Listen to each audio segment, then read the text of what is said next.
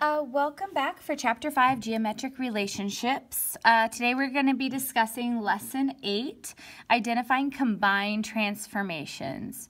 So, um, remember transformations, that is something that changes a shape, uh, either position or size. And um, we've talked about, I think, four types of transformations, dilations, reflections, rotations, and what was the other one? Dilations, reflections, rotations, translations. And those three, right? Um, we had, uh, so dilations, dilate, reflections, uh, rotations,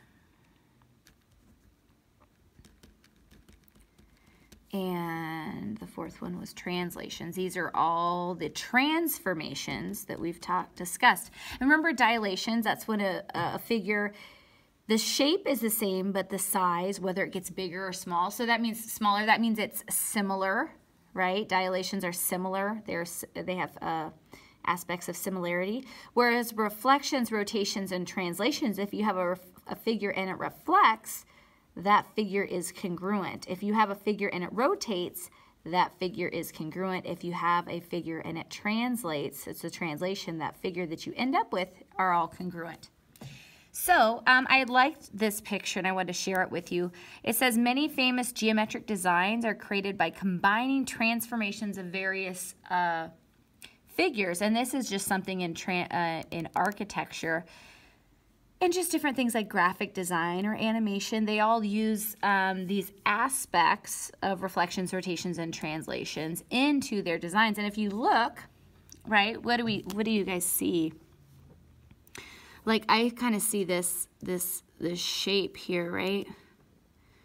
And it, it almost looks like it's like kind of dilating and getting bigger, right? Or at least from this perspective. And then, so I thought that, I liked it because I kind of, you know, you can kind of see that. And then if you see here, it's almost like this is the line of reflection here, here. And then this just reflects over here and this reflects over here. And it just, you know, it just kind of looks cool, you know. So when you do those types of things, whether it's you have something in it dilates or reflects or translates or it just is kind of a cool element. You even have this window here. And you could think that that is like translated over here. But it's almost like a like a translation or is it reflection? I don't know.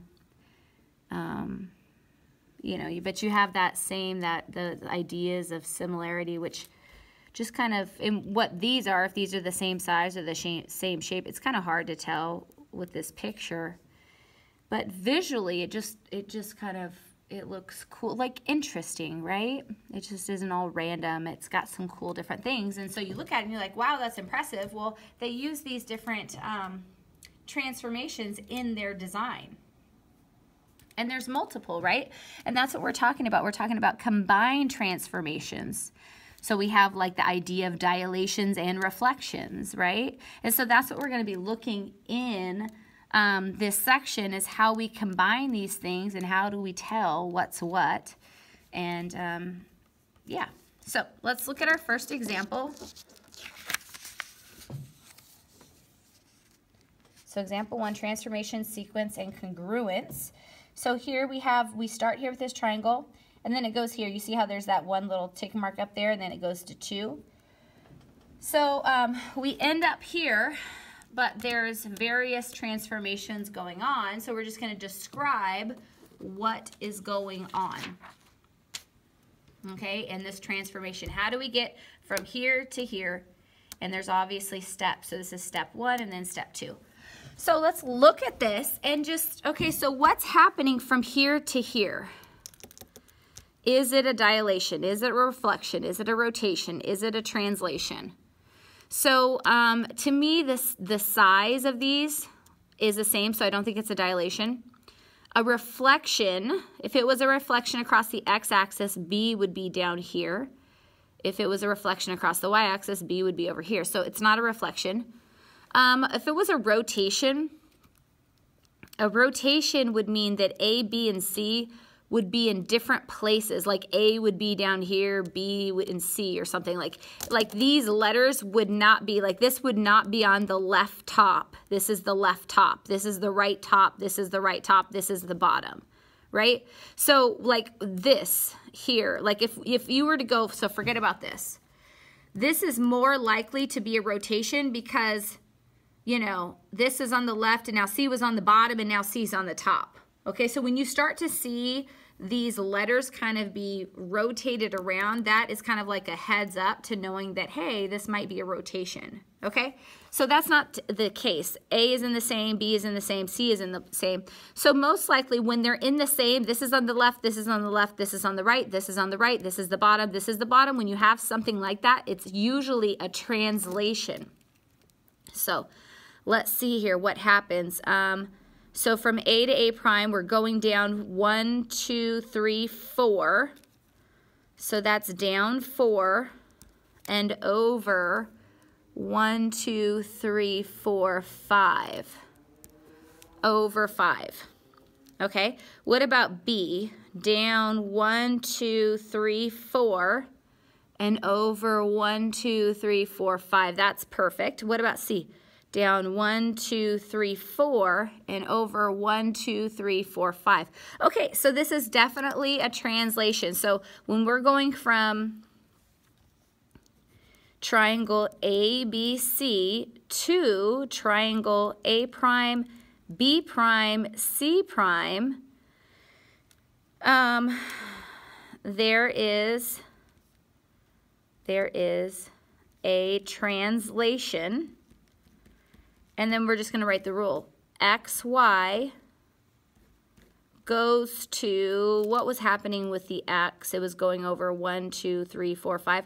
Okay, so it would be X plus 5. And what was happening with the Y? It was going down 4.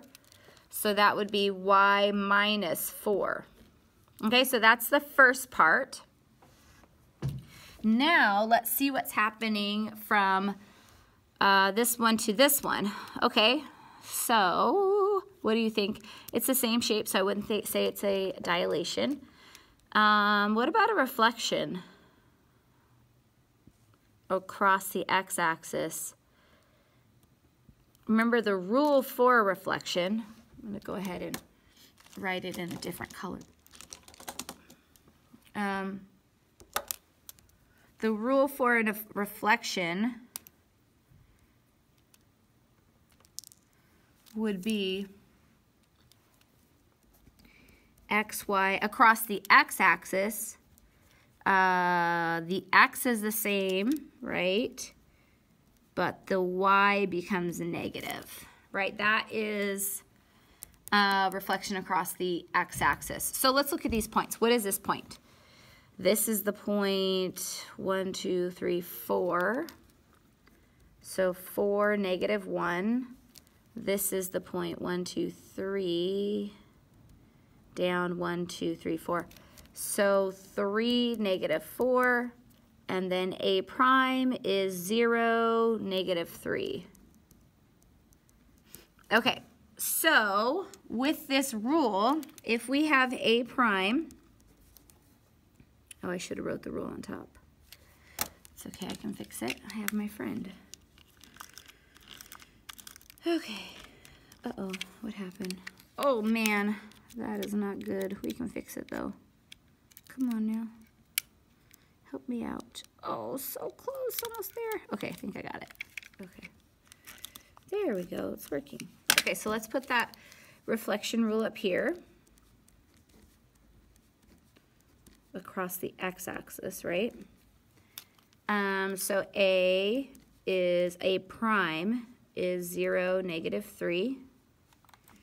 And that has to go to a double prime, which means the x stays the same, but the y becomes negative. Now, if it's already negative, then the y is going to become positive, okay?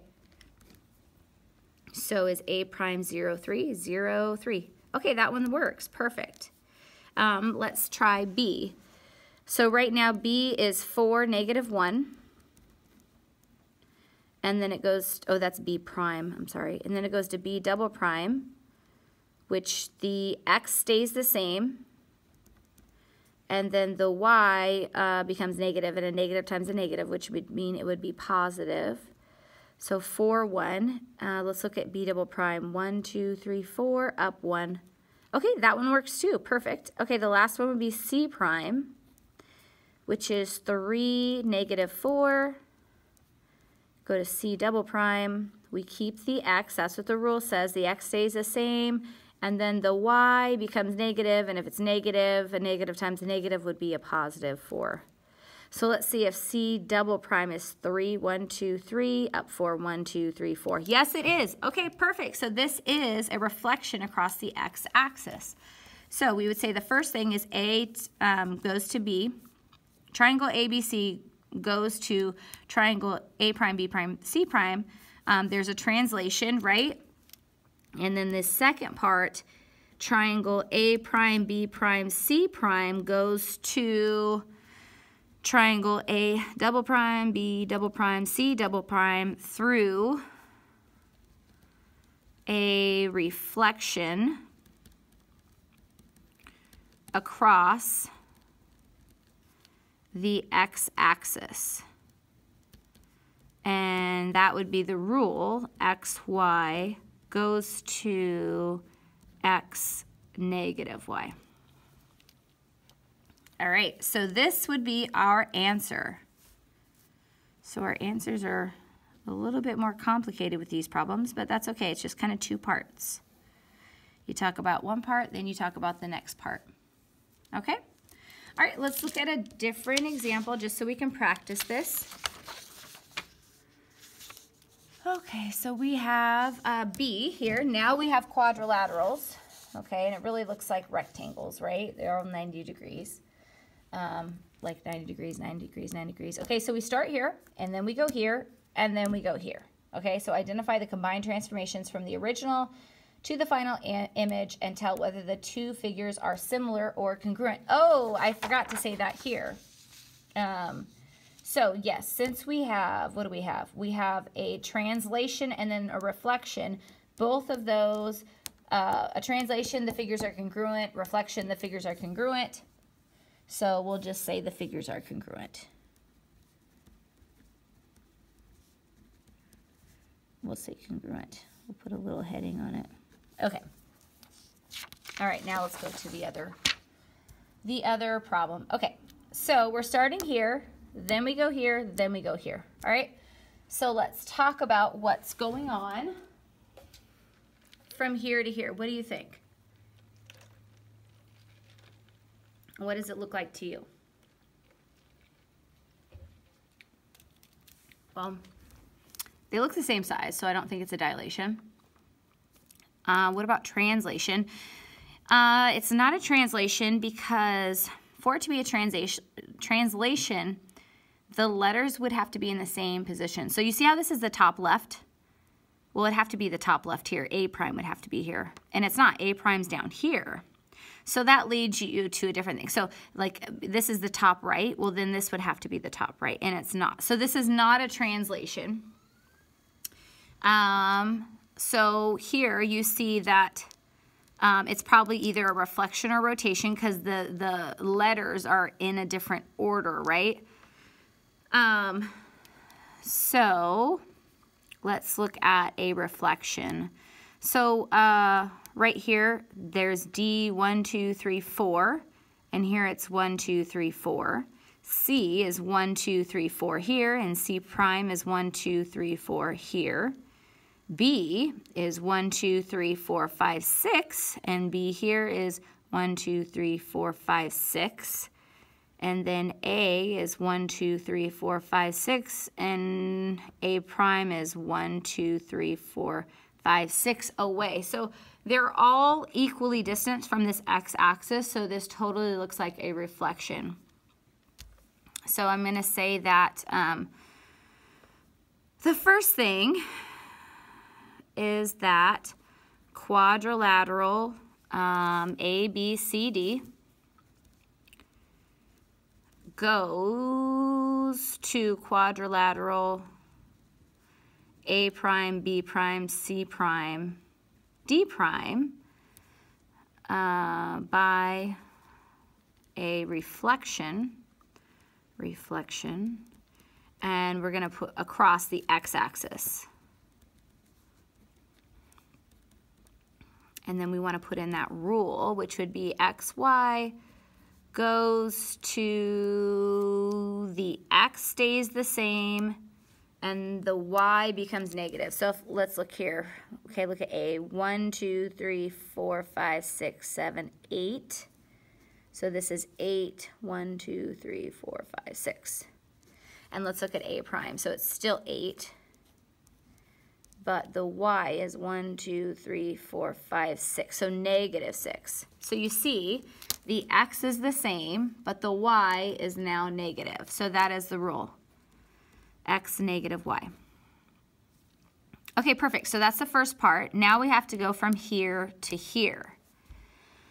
Okay, so um, what I see is that the position of this is completely different. I mean, this really, okay, they're the same size, so this isn't a dilation, right? Um, but yeah, this is, it's like this and now it's like this. So it totally looks as if it is rotated, all right? So with the rotation, I just wanna kind of look and C is closest, okay? So I'm gonna draw this line from the origin to C prime. And then I'm to draw it from C double prime here. And you see what I have here? This is 90 degrees. And it's rotating from this way to this way. So we start here and we're going this way, which would be, which way? That would be counterclockwise. Okay, so this really looks like a counterclockwise rotation, 90 degree rotation, but I wanna double check. So I'm gonna look at these points.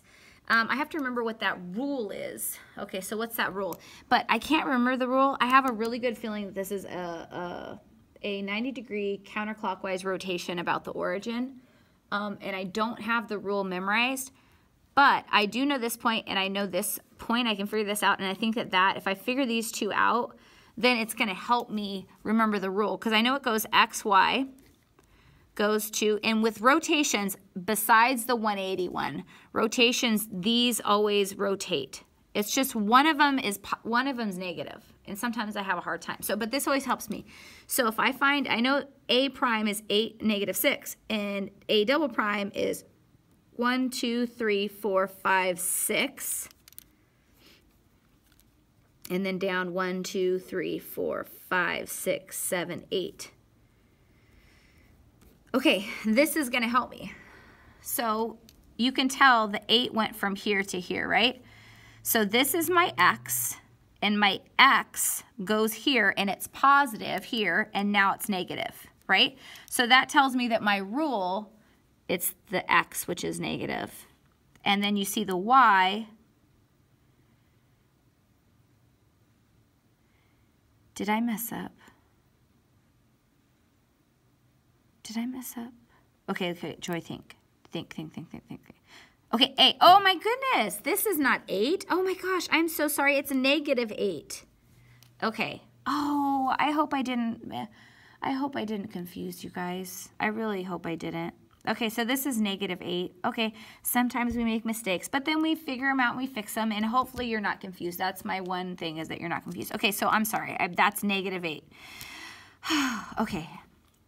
Um, but this, okay, so this is A prime is negative 8 and negative 6. Okay, that's it. And then A double prime is positive 6 and negative 6. Okay, so let me just rethink this again because that was... Okay, so what I do know about the 90 degree, whether it's clockwise or counterclockwise, is the y and the x's, they, they always switch spots. And I know that one of them is negative. Sometimes I just can't remember which one. Okay, so the negative 8 here, the x goes to this spot and it's negative 8. So that means the sign doesn't change. The y here, right, goes to the front and it's negative 6 here and now it's positive, which means the y is negative. So that's the rule okay? So let's just make sure that this rule, and this is the rule for a rotation counterclockwise 90 degrees. All right, so let's make sure that this is the case. Okay, so we already checked A prime and uh, A double prime. Let's go ahead and check B prime. Oh gosh. Gosh, okay, so B prime is negative 2, negative 2, down 1, 2, 3, 4, 5, 6, down 6. And according to this rule, B double prime should be the, okay, so I don't even know. So the y becomes negative. So this is negative, which means the y is going to be positive because a negative times a negative is a positive. And then just the x goes to x. So negative 2 is just there. All right, so b double prime should be 6, negative 2. Let's see. One, two, three, four, five, six, and then down negative one, negative two. So it is. Okay, so that works. Perfect. Okay, so let's try C prime. C prime is, um, what is C prime? Negative one, negative two. And then down one, two, three, four. Goes to C double prime um, so the rule, right, what it should be is that this x goes there and the y becomes negative. So it's a negative 4. So with that negative, a negative times a negative is going to be a positive. So it should be positive 4 and then this x just goes there. So it's the same number. Okay, so we should have that. Let's see if that's the case with C double prime. So it should be one, two, three, four, down, negative one, negative two, and it is perfect. Okay, that's awesome. So now we just have to check D, right? So D prime is one, two, three, four, five, six, seven, eight. Okay, so that's negative eight, down one, two, three, four. Down four. Goes to D double prime, um, which should be, um, what should it be, Joy? What should it be? What should it be? Okay, so this is the y and it becomes negative. So this is the y and it becomes negative. So a negative times a negative would be a positive. And then this x just goes here. So d double prime should be 4, negative 8. Let's see. 1, 2, 3, 4, and then down 8. 1, 2, 3, 4, 5, 6, 7, 8. And it is perfect. Okay, so that's what we know. All of these are confirmed. Um, so I had an idea, now it's confirmed. So quadrilateral A prime, B prime, C prime, D prime goes to A double prime, B double prime, C double prime, D double prime by a 90 degree counter I keep bumping that. Sorry, it's jiggling. Um, clockwise rotation about the origin.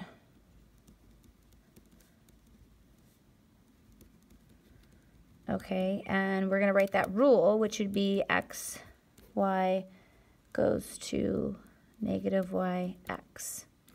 And are these similar or congruent, right? Are the figures similar or congruent?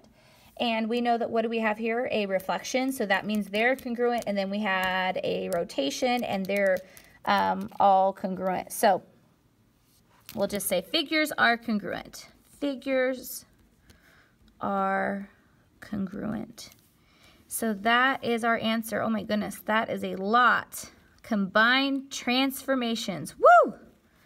Okay, we are doing it. You guys are doing great. Okay, so let's look at this last example, and I want to give you a chance to try this one on your own. Okay, if I can get it to pull up here. Here we go. Okay, so C, we have these lovely trapezoids. We start here, then it goes here, then it goes here. So identify the combined transformations from the original to the final image and tell whether the two figures are similar or congruent. So here's my friend the pause dragon. Remind you to pause your device. Go ahead and work out this problem. See, when you get done, press play and we'll talk about it together. All right, see you in a bit.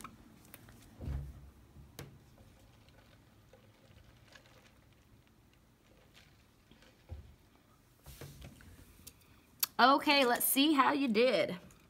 Okay, so we start here and we go here. What do you think? Dilation, uh, translation, reflection, rotation.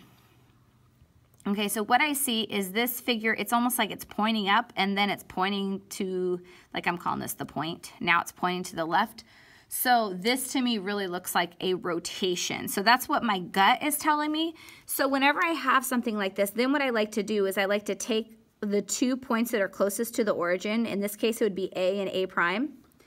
And I'm just going to draw a straight line from A to the origin and from A prime to the origin. Now, if you look at that, that looks like a 90 degrees. So I know that from here to here, it's a 90 degree rotation and we're going this way, right? We start here and we're going this way, which means that is counterclockwise, okay? So this looks like a 90 degree counterclockwise rotation.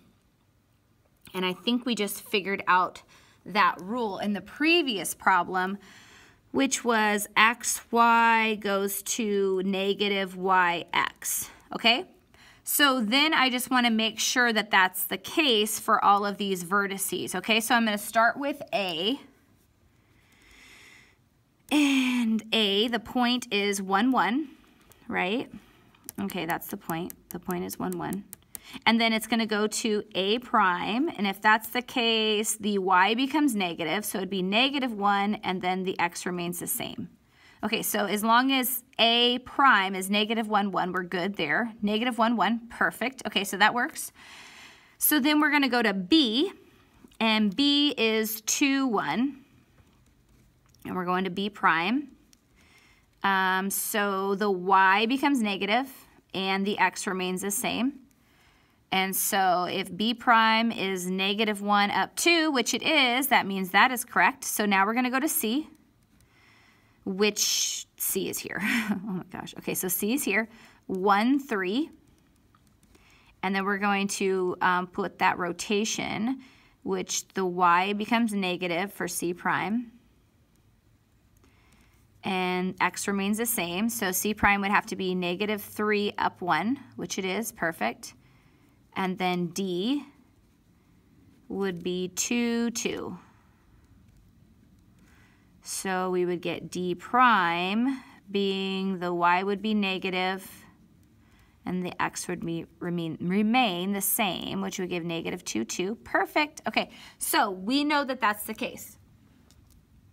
The first thing that we're working with is, okay, what are we working with? We are working with I'll put it right here. Okay. Um, this is, okay, so ABC, let's just say, I'm just to call it quadrilateral. It's a trapezoid. Oh, fine, we'll just call it trapezoid. So trapezoid, um, trapezoid, A, B, D, C, right? You always have to go around the figure. You can't go A, B, C, D, and then, and then you know, skip like that. It has to go A, B, D, C or A, C, D, B. It's got to go around the figure. You could don't have to start at A. You could start at B, right? You could go B, A, C, D or B, D, C, A. It just, whatever you name it, it has to go around one way or the other, okay? So let's just call it A, B, D, C. Okay, um, goes to, I'm running out of space, so I think I might just call it trap okay? Um, trap, uh, A prime, ooh, B prime, D prime, ah, C prime. Okay, fit it all in. Okay. um, goes to trapezoid A prime, B prime, D prime, C prime by a 90 degree counter clockwise uh, rotation about the origin by the rule of right here. xy goes to negative yx. Okay? Perfect. Okay, so now we're going to go ahead and look what's happening from here to here. Okay, so dilation, it doesn't look like it's getting, one's getting bigger or smaller, so it's not that. Um, if you look, one thing I see is that this C on the left side is in the same spot. D is on the top left, B is on the top right, and A is on the bottom right. Okay, so they're all in the same position. So this really makes me think that it is a um, translation. Okay, so let's just see here. So the X goes negative 1 and up 1, 2. Okay, so I'm going to just get another, this to me looks like uh, xy going to x negative 1 y plus 2. Okay, that's what it looks like. Now let's see if that's the case for each of these. So negative 1 up 2. Okay, what about here? b prime negative 1 up 2. Okay, that works. Uh, C, negative 1 up 2. Perfect. And D prime, negative 1 up 2. Okay, awesome. So this is totally a translation. So the second part of this um, is that, and I'm just going to call it trap. Trap A prime, B prime, D prime, C prime goes to trap trapezoid, A double prime, B double prime, D double prime, C double prime by a translation. And then we're just going to put that rule, right, of x, y going to right here, x minus 1, y plus 2, and then the last thing we have to state is whether the figures are similar or congruent. And when we go from here to here, that was a rotation, so figures are congruent. When we go from here to here, it's a translation, figures are congruent. So we can say that the figures are congruent. Okay, and then here is our answer right here. So if you got all of that right, um, wonderful job, and I'll see you in a little bit for the next example.